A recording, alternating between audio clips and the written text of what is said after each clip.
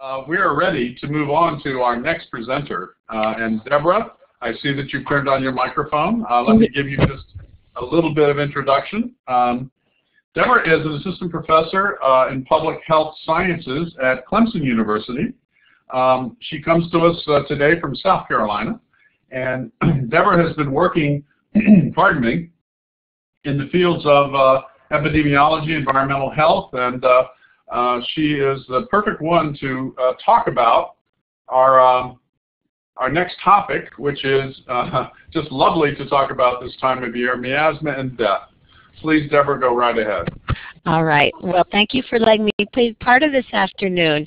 As someone who has taught epidemiology for 20 years, of course, John Snow is, as Sandra said earlier, the man.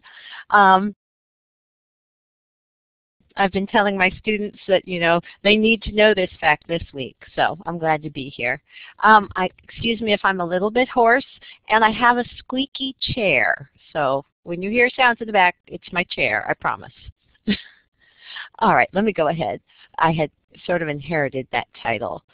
And um, oh, I can see I'm going to have some formatting issues, but we'll just deal with those. Um, as you've heard today, several times that John Snow was sort of bucking the prevailing attitude of the time.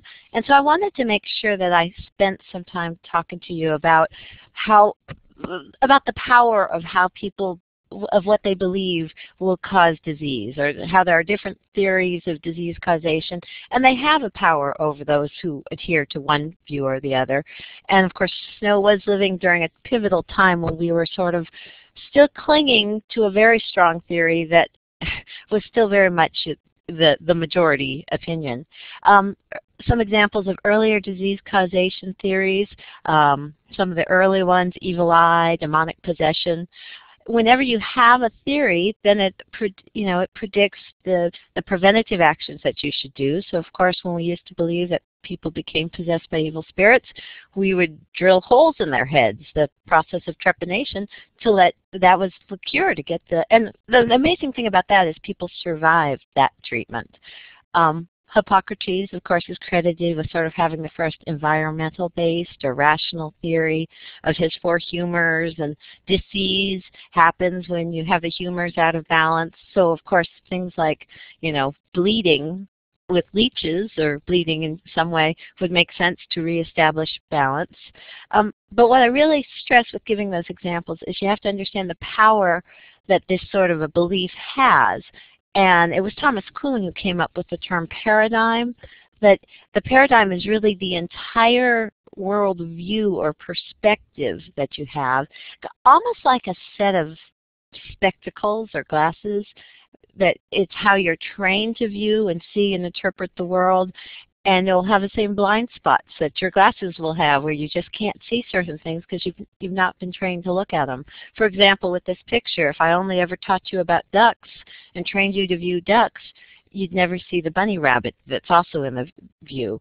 And that's a good way to kind of view a paradigm and understand what people were thinking. And of course we need to be careful that a hundred years from now they'll wonder what we were thinking.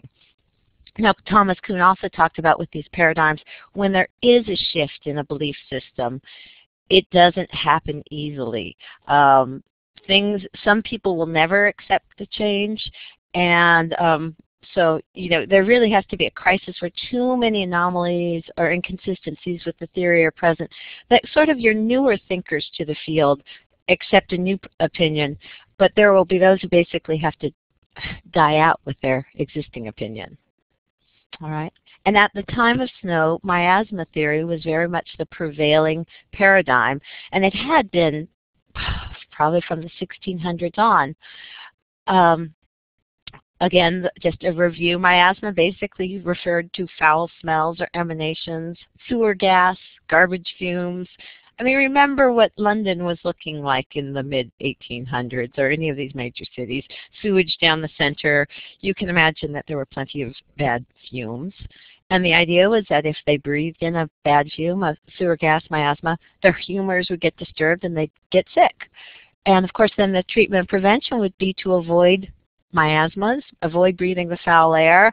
Maybe you shouldn't be there in the first place. What were you doing in that location? There were all sorts of sort of moralistic opinions that went with it. And of course the cure of breathing good air, which is where we get ring around the rosy, pocket full of posies, ashes, ashes, and you know, we all fall down, is related to, you know, posies and smelling good air to keep yourself safe. Now, contagion theory had been emerging as an alternative to miasma, even back to the 16th century with Fracastorius, or Fracastoro, they made up their names then anyway. But uh, he had termed the uh, he had come up with the term contagion. Um, von Leeuwenhoek, of course, had his microscope to help us show the presence of germs, which he called animalcules. For some reason, I really like that term for bacteria and germs. Um, Semmelweis, you know, came along and had this idea that there must be something that the medical students were taking from cadavers to pregnant ladies when they were delivering them and you know came up with the concept of cadaverous animalcules or particulates that of course he recommended washing your hands. So very important things were emerging but very much in the minority. And the fact that John Snow was aware of this just tells you what a researcher he was. He must have been reading quite a bit of material to keep up with the emerging theories. Um, I do like to give credit, though, to the some of the major adherents to the miasma theory at the time were our wonderful sanitary sanitary reformers that did a lot of good. You can hear Florence Nightingale in this category. Um, Chadwick, who pretty much established sort of a structure for public health. William Farr contributed so many things to uh, vital statistics keeping and the international classification of disease coding. Um, we had Shattuck here in the United States. Now they all were sanitary reformers, all major adherents to the miasma theory, um, but they did a lot of good. Now, of course, one thing which, again, with our current blinders, I'm not quite sure why they had to have such a decidedly anti-contagionist perspective as part, but again, it's hard to understand something you can't see, and something you can smell probably made a lot more sense. So that's what was sort of going on in the world of John Snow when these cholera outbreaks occurred. He did, as we've heard, publish in two different places actually, more in a lay literature and also in a medical journal in, in 1849, his observations on cholera. He was he definitely was more inclined toward contagion. Um, and he had some very interesting observations in that um, those publications. He was able to look at sort of these inconsistencies with a miasmatic explanation for an outbreak. At the micro scale, he had discussed the Surrey building tenement, basically, which backed up to the Truscott Court tenement. Um, they were equally destitute sort of tenements. Um, people doing the same occupations living there. But in the one, the Surrey building, I believe there were like 20 deaths, whereas in the Truscott Court one, there was there was one basically from cholera, and so and the only real difference is that they each had their own pump, and so at that micro scale he was able to start to say that that's an inconsistency in some of our theories. At the macro scale, you've heard about a couple times now about the different water companies that were providing different regions of London. Um, the Southwick, and I can never say the names correctly, um, but basically you had these two different water companies that would provide different areas, and of course one was pulling their, accessing their water from south of London, and so it had quite a bit of the sewage of London in it, and one was getting their resource above. But uh, let me just share, related to this stuff, one of the comments he had in his publication about this natural experiment. The experiment was on the grandest scale. No fewer than 300,000 people of both sexes, of every age and occupation, and every rank, and every station, from gentle folks down to the very poor, divided into two groups without their knowledge or choice. One group being supplied with water containing the sewage of London, and the other having water quite free of such impurity. And of course he looked at the rates. And your chance of dying from cholera was eight and a half times greater if you were receiving the one source of water. Very impressive at the macro scale to also be able to view these things. Of course, you'd like to say he published that and everyone stood up and cheered, but as you can see, he really still failed to convince the leading medical and political officers of London at the time with his articles. Their arguments were that the wind was blowing one direction versus the other, and that he really had not shown that these disease rates could that he had not shown that there was a, some other explanation besides emanations to explain the disease rates. And I put in this next little bullet just as an explanation of what was still going on at the time. They did have an 1851 sanitary convention right there in London, and they actually asked the disruptive contagionist group to leave. So you can imagine that there was a ruckus going on and they were arguing against it. And so John Snow was not alone in his trying to stand up or the system. And my sense is John Snow may have been actually a little too apolitical and reserved to have been much a part of this rowdiness. But there is definitely, as you could take sort of early signs of revolution going on. As I say here, Snow, as a consummate researcher, just waited to get more evidence. And so, of course, we have the massive cholera outbreak that occurs in 1854. We've heard different statistics about that. It's just hard to imagine a place where you might have 70 deaths in one day from cholera just 500 over the course of about a week or two. It, it's hard to imagine the impact that had. Um, but it did provide Snow with an opportunity to do a little more of the epidemiologic approach of comparing the sick to the healthy. And I like to stress that most of the data he used came from William Farr, and the fact that Farr not only documented where where deaths occurred, but whether they were from cholera or not. And so my next slide is the, the famous sort of ghost map picture. I got this one from Steven Johnson's book of the same title. But you can see that the black lines, let's see if I can do a pointer here. The black lines are death in a house from cholera. And so you have places like this workhouse here, which housed oh, I forget the statistic, maybe 500 people, but you had a total of only four or five deaths happen there. You have the brewery here with not a single death. Of course, they weren't probably sleeping there at night. They have it recorded there, but with no deaths documented.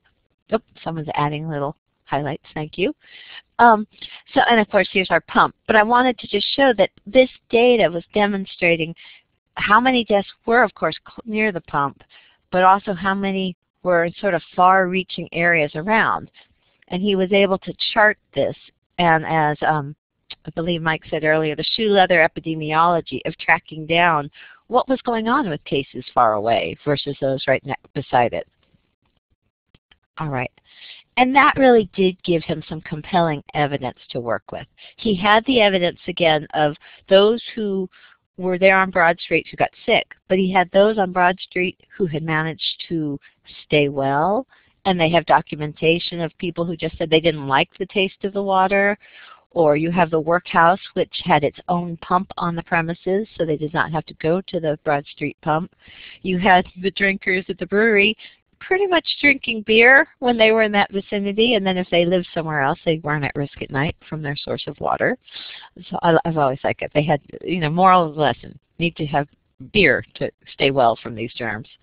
Um, and then perhaps more compelling to his critics is that Snow did track down those who died within the same outbreak period who didn't live near the Broad Street pump. He was able to find um, that this one widower Susannah Eley, I believe was her name, had lived there originally and had moved away, but she still had her sons bring her water from the Broad Street pump on a weekly basis, and she unfortunately perished during this outbreak. And you also had school children who were in residence there on Broad Street during the day and would have had their water at that time, even though they lived other places. So very compelling evidence for his critics that it couldn't be a smell that traveled that far but the water definitely could go that far. So with more evidence and sort of, again, clout has a lot to do with it, he was able to successfully argue for the removal of access to the Broad Street pump. The handle was removed on September, I have it as the 7th or the 8th, by the, um, he convinced the Board of Guardians of St. James, James Parish. Um, and as I said earlier, he really was arguing against an ingrained paradigmatic view of what could be making sense here. Um, and, and setting the stage for, again, more of a revolution in theory. Of course, as an epidemiologist, I have to include this slide that we now do revere John Snow for pretty much acting out all the steps that we would like to see even modern day epidemiologists do. That you first assess the distribution or patterns of disease. You're looking for the, you're looking at the where and the when to, in order to hopefully figure out the why which is of course identifying the determinant of disease. And he didn't know that it was a Vibrio, but he knew that there was something in the water. And of course, a real, and then as well advocating for public health action once you're convinced that there's a way to make a difference. So we have to include that one as our definition of epidemiology there. I do like to end though with this point that the miasma paradigm still continued to be pretty powerful in the prevailing theory for a few more decades after John Snow. So he didn't really usher in our acceptance of germ theory. We really had to wait for an even more prominent um, individual, of course, Louis Pasteur, who was so revered by his country for his contributions. Um, so snow certainly helped move us along and certainly helped bring attention to water as a source of contagion. Um, but I also like to just, again, give a little credit back to the sanitary reformers such as Chadwick and Farr. Without Farr, I'm not sure that Snow would have even had the data to do what he needed to do.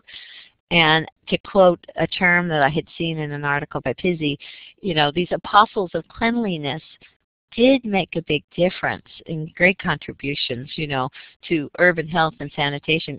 Their science might have been misguided or wrong, but some of their actions still did make a big difference. And so I like to, and I think, and my sense is that John Snow was able to get along with and, and converse um, with this group as well. All right. Any questions? I talked Thank you fast. very much. I appreciate that, Deborah. Um, we um, we have some time for questions if anybody does have any. I see some applause. Very nice. the applause emoticon is very, very nice in this case. Ah, very good. Thank you. Thank you for the applause. I love hearing from people. Yes. And I really do love thinking about the the you have to think what was inside their head. And like I said they're going to look at us and wonder what we were thinking in another hundred and years. Lindsay of course says thanks and I loved hearing that beer saved some people. It's always nice to know. Indeed that's true of course. Uh, uh, people did uh, resort to uh, beverages that were fer fermented in order to, uh, to to kill the organisms. They didn't know it but they knew it was healthier than drinking water any other questions or comments? All right, Deborah, thank you so much. Sure. I appreciate uh, the